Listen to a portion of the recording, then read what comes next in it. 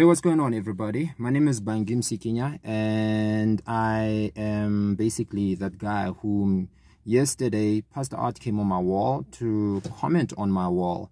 And as a result of that, um, a lot of people got caught wind of um, that conversation and it started trending in WhatsApps and in certain groups and whatever. And um, so, yeah, I am making this video because since last night, between last night and today, I've spent hours on the phone with different people. Last night alone, I spent four hours on the phone with three different friends who phoned me. Last night surprised me because um, two of those friends that phoned me last night, one is in Cape Town and one is in Joburg. So for that post to have reached people that far, um, was it, it, it was a big notification that this thing got pretty deep into the church, into um, uh, to a lot of people in the church, the church being CRC that is led by Pastor At, and um, then this morning again, um, I got uh, three calls and uh, from three different friends. All of these calls range anything between 30 and one hour long, 30 minutes and an hour long. And so I find myself having to deal hours upon hours with this situation and explaining what is going on. And on Facebook as well, bombarded, completely flooded with a lot of people coming on. Since Pastor At came on my wall, a lot of CRC members come on my wall to have their say. And I say CRC members because that's what they claim to be. I can't confirm or deny that, but that's what they call themselves. They say they're members of the CRC church, uh, of CRC. So, um, I am actually going to respond to all of that, and I'm going to say the same things that I've been saying to all my friends that have been calling me. And um, this is basically it.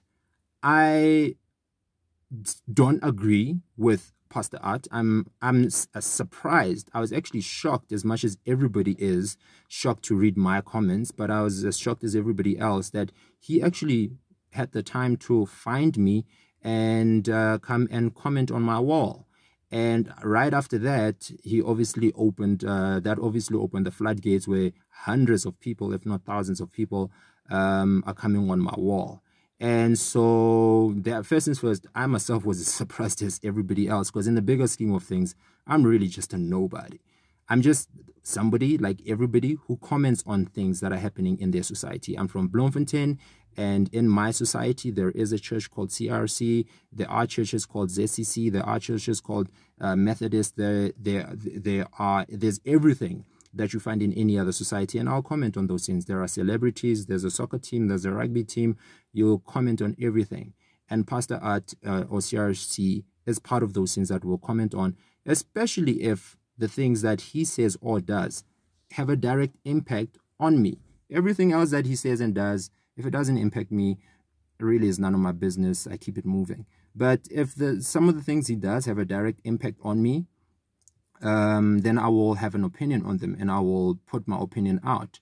I find it problematic that if my opinion does not sit well with other people, they don't care what my opinion is. What they care about is me not talk, talking about my opinion, and um, that happened a lot on my on my Facebook.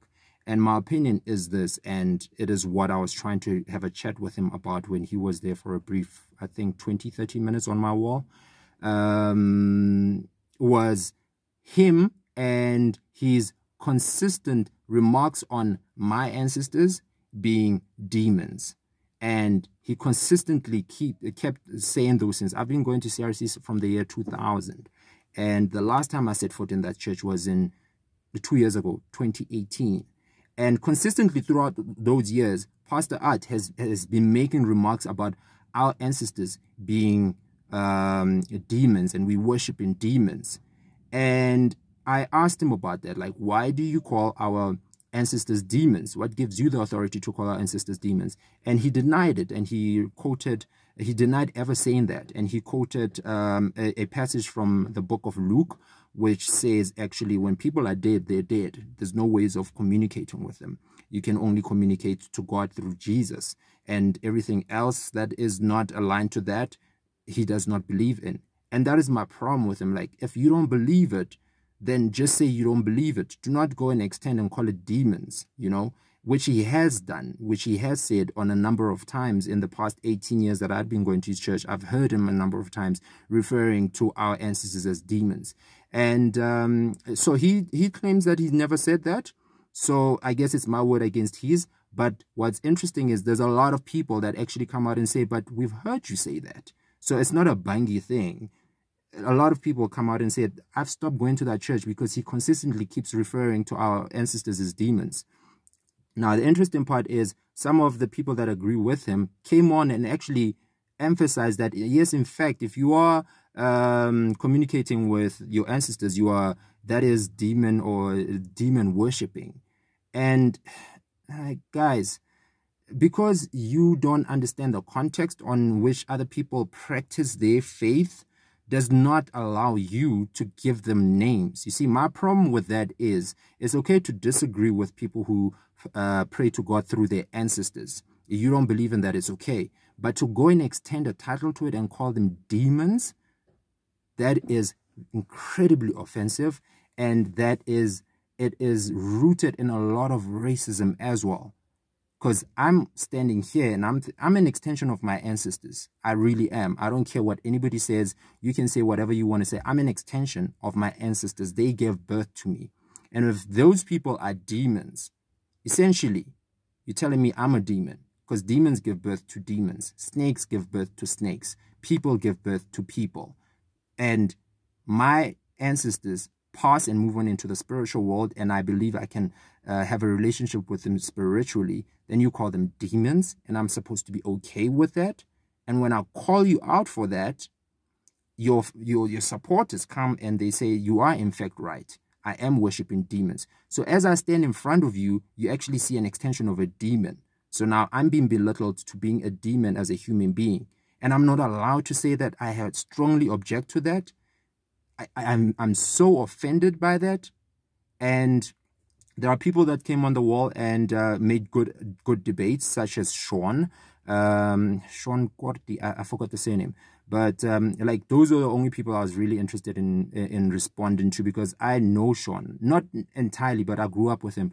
We're in close proximity enough for me to understand that he's not emotional or he's not getting personal or whatever. Uh, he's really interested in conversating.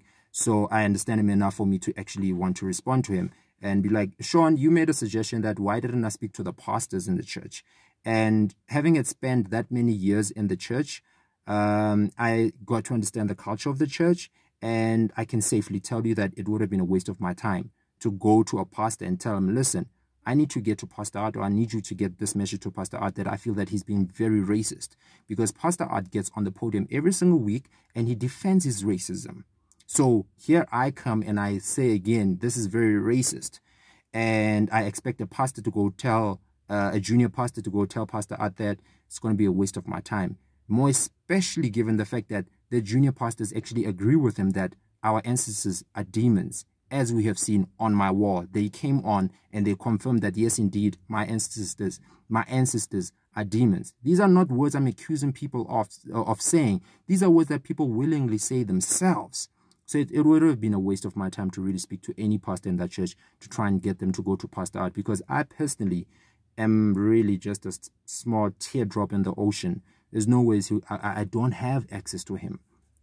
And um, even if I try and get access to him through the pastors, the pastors are going to do exactly what they did on my Facebook. They're going to come and attack me. They're not interested in the reason or the logic of why and how I feel the way I feel. They're just interested in the fact that I cannot possibly call Pastor At racist. It's impossible. And I do find that he's got a lot of bigotry, which is very racially insensitive, which makes it racist. And that is why I, till this day, I will never back down or apologize for calling out a man for racism. That is not going to happen. And that is not the only thing. In 2018, when I stopped going to the church, another comment on, I think it was in May, it was in this month, two years ago, he said that he has a dog which is called, he calls it Blackie, and it is the black child of the family. All of those very racist nuances that he keeps throwing each year in, year out, those things are highly uh, offensive, highly racist, and those things make me really feel offended by his words. Is a man a good man of God? I mean, looking at what he's been doing over the 20 years and the fact that I've been going to that church, I cannot deny. There's a lot of things I could never ever deny Pastor At of. I'm not saying he's satanic, he's demonic, whatever. I'm saying Pastor At has a lot of racial bigotry, and those things need to be challenged. And the thing is, he consistently stands on the podium and he never acknowledges that about himself. He instead turns around and says, We are the ones who are overly sensitive. The problem is with us. So the victims are the ones that, that have the problem. The fact that you call my ancestors demons, which is then goes down to mean that I'm a demon because I am an extension of my ancestors, that is to him is not an issue. The issue is I'm sensitive. He's he's he's he's not. I mean, you know, I could speak for a while on this issue, and I have one issue and one issue only, which is the racism. That is the issue that I have.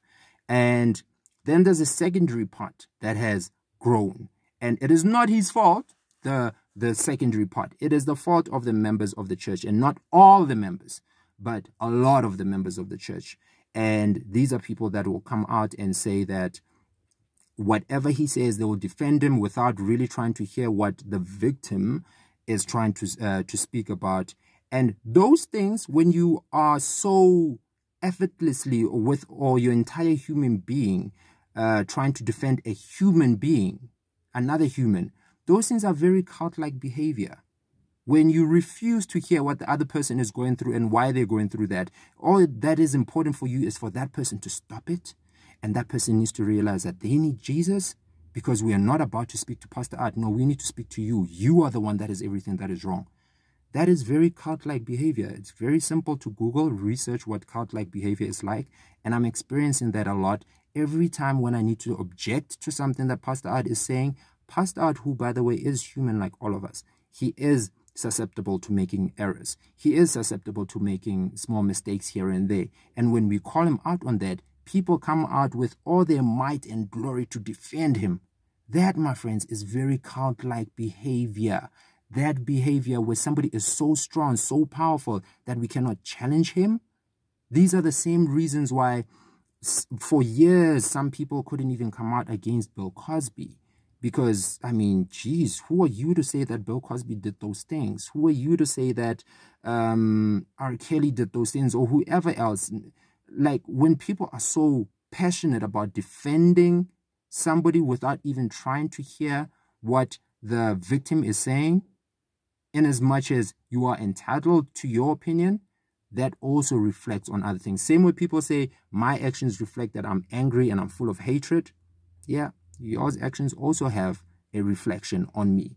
And those are the things that I talk about when I talk about cult-like behavior. Same ways you guys can all justify why you think I'm a lost soul and I am um, angry and all of those things. I, your actions too tell me they scream cult-like behavior and I can justify them without even justifying them. You guys show up on my wall and you justify my view. And with that being said, um, I will not ever back down from a issue where I feel somebody's being racist, irrespective of who the person is. And that is my standpoint. I do not have any issues with Pastor At other than the fact that he's got a whole lot of racial bigotry in him. And I will always say that until it is challenged. For a man to stand and liken his dog to black people, and we are supposed to just live with it, and that is okay. And then when you say anything, then the problem is with you. Yeah, um, like I'd rather go down in history as that guy who is full of anger and hatred if that is your opinion because i know that is not what i am I'm just that guy who is intolerant of racism, no matter how small it is. And the other mistake that we as human beings make is when we speak about hum- uh, racism, especially in South Africa, we think racism is extreme. We think racism means somebody has to call you by the K word. We think racism, somebody has to put a dog on you or they have to kill you, like in America right now. with a cop killed a black person. We think that is the only image of racism, and that is not the only image of racism. Racism comes in very many different shapes and forms, and sometimes it comes in very subtle messaging, such as calling people's uh, ancestors demons and calling um, calling your dog um, the black child of their family. Those subtleties need to be challenged, and I will challenge those things even if it means I get kicked out of the church, I will always challenge those things. And if that makes me a bad person in your books, then hey, you write your book and I'll write my book. And um, so, yeah, this is my response. If Pastor At wants to respond to this or he's going to ignore this, that's completely on him. But to all the members of um, the CRC church, if you feel offended, I apologize for offending you. In as much as I'm just as offended by your pastor and the things that he says about me. And it's clear now on my Facebook wall, it's not just him, it's him and his other fellow pastors and congregation that keep offending me and my ancestral beliefs. So, um, as to everything else about who, which said, which church said that they want the churches to reopen and whatnot, I mean, yeah, it is everything is on paper. He wrote the things that he wrote about the meetings that he went to with the president, and um, I cannot rewrite history. It is what happened. He was part of that meeting, and he wrote it in by himself that he is in this meeting and they are having conversations with the president about reopening the church. He wrote that. I didn't say he did. He, he said that. He wrote it. So yeah, I will leave it there for now and um, I had to do this because now I can't be answering calls for the next five hours, eight hours, 20 hours over this matter. This is my standpoint. If anybody has an issue with that, it's okay. If anybody agrees with that, it's okay. It's social media after all, and it is what it is. Uh, God bless everybody that's here, and uh, may you all have a very safe period up until we are done with this whole thing of COVID and people can get back to their lives.